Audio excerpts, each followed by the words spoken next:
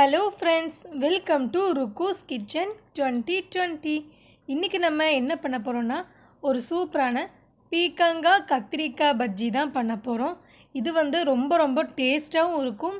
ஈஸியாகவும் பண்ணிடலாம். இட்லி தோசை ஆப்பத்துக்கெல்லாம் ரொம்ப நல்லாயிருக்கும். இது நம்ம எப்படி பண்ணலான்னு பார்க்கலாம். இதுக்கு வந்து தேவையான பொருள் என்னென்னு பார்த்துடலாம். அரை கிலோ கத்திரிக்காய் எடுத்து வச்சுருக்கோம். ஒரு பீக்கங்காய் மூணு உருளைக்கிழங்கு இதை எடுத்து வச்சுருக்கோம். இது வந்து நம்ம தோலெல்லாம் நீக்கி நம்ம கட் பண்ணி வச்சிடலாம் அப்புறம் மூணு பச்சை மிளகாய் பத்து பல் பூண்டு ரெண்டு பெரிய வெங்காயம் இது வந்துட்டு நம்ம கட் பண்ணி வச்சிடலாம் ஃபஸ்ட்டு வந்து நம்ம குக்கர் வந்து நல்லா ஹீட் பண்ணிவிட்டு அதில் கொஞ்சம் ஆயில் சேர்த்திட்டு ஆயில் நல்லா ஹீட் ஆனதும் இதில் வந்து நம்ம கடுகு சேர்த்திடலாம் ஒரு ஸ்பூன் அளவு கடுகு சேர்த்திக்கோங்க. கடுகு வந்து நல்லா வெடித்ததும் இதில் வந்து நம்ம கட் பண்ணி வச்சுருக்கிற பெரிய வெங்காயம் கார்லிக் பச்சை மிளகாய் இது மூணும் நம்ம சேர்த்திடலாம். இதை சேர்த்திட்டு நல்லா வதக்கிக்கோங்க. நம்ம பீக்கங்காய் வந்து சேர்த்துறனால இந்த பஜ்ஜி வந்துட்டு நமக்கு ரொம்ப டேஸ்ட்டாக இருக்கும்.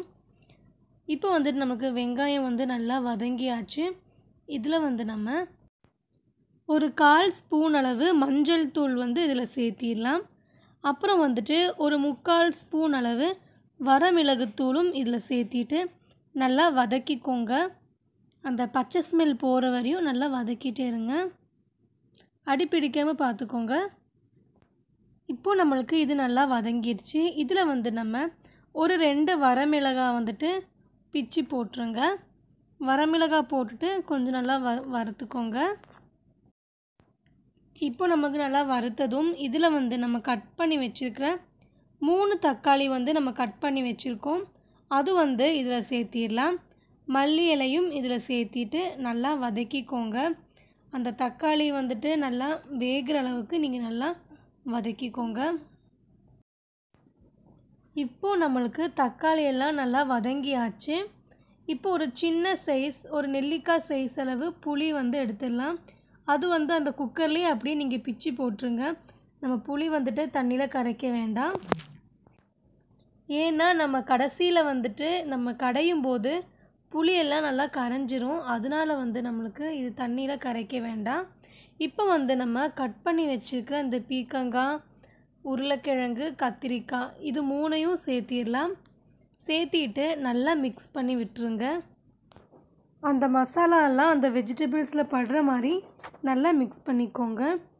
இதில் வந்துட்டு நம்ம தேவையான அளவு உப்பும் அதில் சேர்த்திடலாம். உப்பு சேர்த்திட்டு நல்லா மிக்ஸ் பண்ணிக்கோங்க.